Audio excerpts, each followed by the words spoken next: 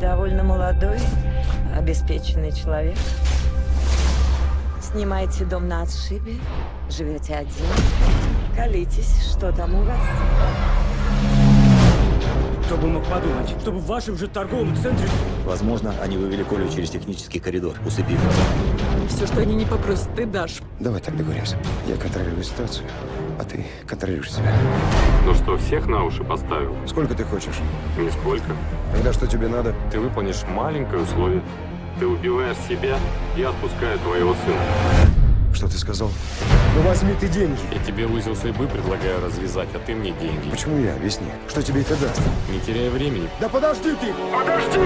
Завтра кто-то обязательно умрет. Одного подонка поймать не можете! Внимание всем крес на мониторе. Направляется к площади. Думаешь, подмел меня?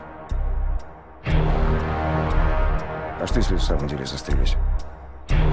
Выбирать, как умереть, неотъемлемое право каждого. У тебя осталось два часа. Я тебя найду, ты слышишь меня? Я тебя мертвым достану. Пап, я хочу домой.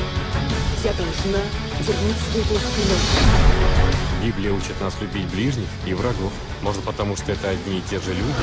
А эта сука по земле ходить будет. А я должен себе пулю в лоб пустить. Да? Есть правила, которые надо выполнять.